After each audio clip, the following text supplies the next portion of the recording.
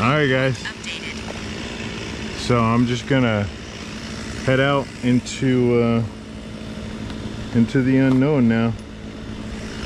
Hopefully the uh, the drone stays right there where it's at, and we're good to go.